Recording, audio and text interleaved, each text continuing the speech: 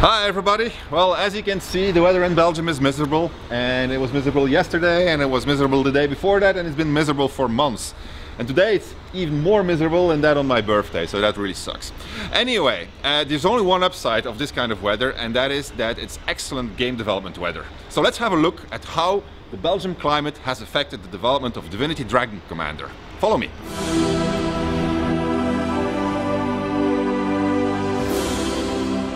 Hey Octave, what are you doing? Hey, I'm um, going through the single player of Dragon Commander, so Mm-hmm. I can make some save games for other guys that they can really uh, look at certain parts of the game. Did you find something that was particularly shocking as you was going through it? Uh, this, for example. yes, I But I can. found but the people don't know about this yet, so we're not going to tell them either. Anyway, hi Lorian. Hey, How's it going? very good, thanks. What are you doing? I'm actually writing the manual for Dragon Commander. There's a lot of skills and spells to list, so uh, I'll be busy for quite a while. So it basically means that the game is almost feature complete, right? It is pretty much feature complete, yeah. Okay, cool. Let's move on. Great. Thank you. Hey Thomas, Hi, what are you doing? I am uh, finishing up on the Dragon skill loadout screen. Okay, so that's uh, one of the last interfaces, I think, right? It should be, yes. Yeah. So Thomas has been redesigning all of the user interfaces now that we know more or less everything that is in the game. And uh, he's probably, I think, one of the last bottlenecks in uh, releasing Dragon Commander. Bottleneck. Yeah, I like uh, being called a bottleneck, but uh. Hi Joel, what are you doing except looking at yourself in the mirror? Hi, uh, well, I'm actually looking at the eyes, uh, seeing if they look into the camera. It's a really small detail, but it, it gives so much to the game. So uh, I'm doing that. Okay, so why do you need the mirror? Uh, well, um, the characters have expressions, and when putting up the expressions, we need to look at ourselves and, uh, you know, see how an expression is formed, and then we, we translate that to the game. Okay, well that's pretty cool. Okay, well thanks Joel. Let's finish it up. Let's have a look at your uh, lead. Hey Thierry, Yeah, was fun. what are you doing? Well, I'm making sure all the final uh, motion capture of the characters uh, being implemented, everything is polished, and uh, yeah, that it looks fine. We just have a little bit of bug fixing depending on uh, what we get from beta and uh, QA. Okay. So uh, we're almost there. Almost there. Thank you Thierry. Almost there. You heard it here first. hey Benoit, Hello. what are you doing? Working on the manufacturing and the localization right now. You look very relaxed actually. I would have expected you to be more stressed. You usually are more stressed on these uh, kind of things. Yes, starts to ramp up. Okay, so what's the, your, your big problem at this moment? Uh, it's the timeline to put the localization and the manufacturing together to ship to all the partners and put it on the shelves. Okay, so basically it's getting the games translated in time and make sure that what's translated is in the box in all the countries where we're shipping all at the same date. Okay, well, Benoit, producer, he is working on the boxes, he's working on the integration of localization. means we're really near the end, almost. Almost. All right, thank you, Benoit. Thank you. Hello, Lawrence. How's that? What are you doing? I'm now doing the notification center. It means that you're gonna know what everybody's doing at a certain time in the game, so you know what people are moving around, etc. So it's basically like uh, Farang invaded that country, that kind of stuff. Okay. Or Lawrence played that card. Okay, so that makes sense to me. And uh, do you still have a lot of work on your task list? Uh, it's shrinking very fast, so no, it's going pretty well. Okay. If even the programmer is smiling, we're really nearing the end. All right, thank you, Lawrence. No problem. Let's have a look at Ken. Kenster, how's it going? Uh, it's okay, I guess. I see a fantastic smiley in there. Is that going to ship? Is that Ken art? That's Ken art, as they call it. Yeah. I'm uh, reworking the prepare battle uh, UI. I'm re- reworking it so that the flow is better. This is for the uh, to decide who is going to lead in battle. Is it going to be one of the generals? Is it going to be you as a dragon? Or are you going to leave the army up to its own resources, right? Yeah, with the militia, and you can also play the extra.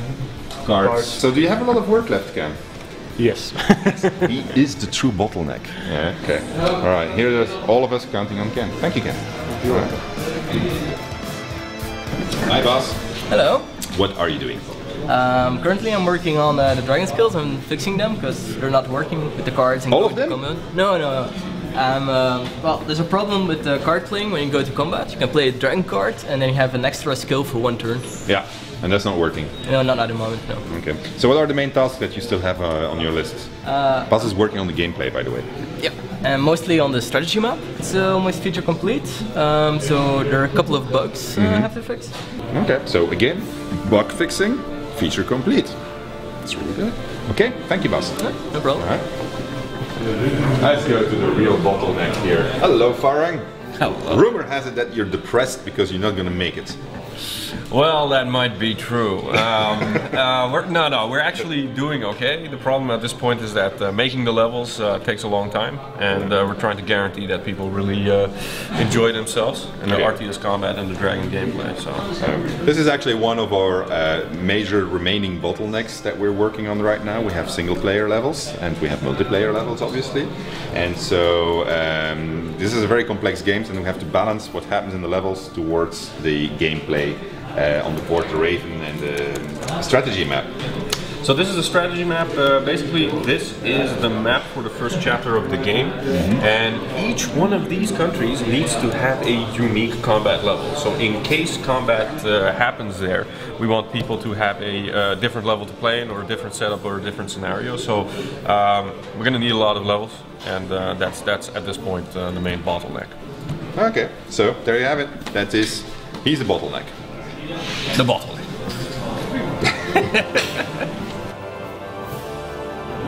Hey, Kun, Hi Sven. what are you doing? I'm working on the terrain at the moment. Uh, so we have uh, terrains from design and I'm actually beefing them up a bit. So the What do you mean with beefing up? Well, I'm uh, working on the erosion so that, um, as you can see here, this is a low-res render actually of the terrain, but it gives already a good idea of how the erosion will be, where the, the beaches will be, and what kind of texturing we want on this. So that's the only thing you're busy with? Uh, no, I also worked on uh, the cover of Dragon Commander, made these little tiny mock-ups. Ah, yeah, Don't want box to waste prototypes. box prototypes, so we got one with the Undead Princess here. What's this one? Uh, that's the bigger version. Okay. Uh, so we're still working. This is work in progress and it's not Yeah. finished yet. But you have to finish it very soon, I think. Eh? Yeah, quite. Yeah. Looks good. All right. Thank you, Kun. No problem. Come on, Edgar, you can say it. All right, I'm responsible for the AI. He's the man. I'm uh, quickly testing uh, the new team behavior that I put in. Ah, But it's basically I'm trying to make sure that, um, as you can see here, that they don't just move uh, one by one, but that they stick together. Is it actually going to be a, a, com- a complicated AI, a challenging AI? Oh yeah, definitely. It will definitely be challenging. Yeah. I I feel like God when I make it, because it's really turning alive. You heard it here first. Edgar is the one. You think that the players will not figure out a way of defeating your AI? Oh yeah, no. You're sure that your AI will be beating the, the, the players, I'm whatever. sure, I'm sure some players can beat it, but uh, most of the people here at the office are having fun with it. Okay, so it's a challenging AI that is also fun. Cool, so let's have a look at how the other portion of the AI goes, because this is the combat AI, but obviously we also have the turn-based AI. Yeah. Hi, Sebastian. Hello. What are you doing? Uh, at the moment, I'm creating the AI for the strategy map. All right, so we're looking at an accelerated version of AIs playing against each other? Yep. Two-player match? Yep. So would you say this is a fun AI, a challenging AI?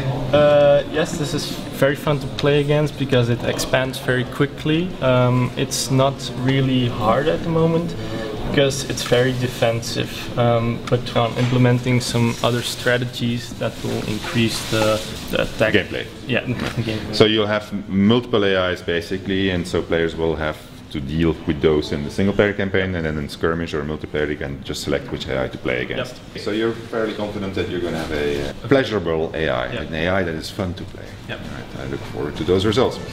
Okay, let's move on. Hi Bert, Hi Sven. what are you doing?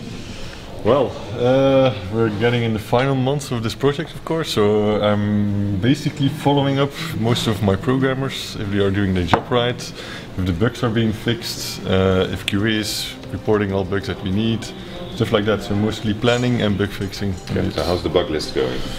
It's uh, growing and shrinking, uh, but it's that's annoying. manageable. We don't have major uh, stability problems. We don't have major networking problems. So It's looking it good. should. It loo- it's looking okay. Yeah. All right, thank you very much. Yep. Jan, What are you doing on Dragon Commander? I thought you were supposed to be completely on original sin right now. Um, yes, but there are still a couple of things to finish up, um, such as the Rivellon Times here, and that's what I'm you couldn't right resist, now. could you? I could not resist. You obviously had a very hard job on finishing Dragon Commander. Jan spent one month, I think. Something like that, Yes. Locked up in a small hotel room somewhere in In London. London, yes. And yeah. what were you doing when you were there? Visiting museums.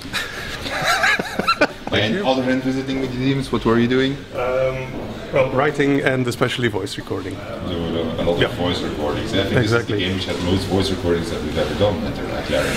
Uh, yeah, I think it'll become pretty close. Yeah. yeah. Jan came back from London. He was like, "Woo!" And why was that? Why were you floating? Because there was some actors that told you something. They were forced to. s- No, it's your way is better. Funnily enough, writer. Thank you very much. Wow. Finally, Thomas got something worthy on his camera. The writer is amazing. See.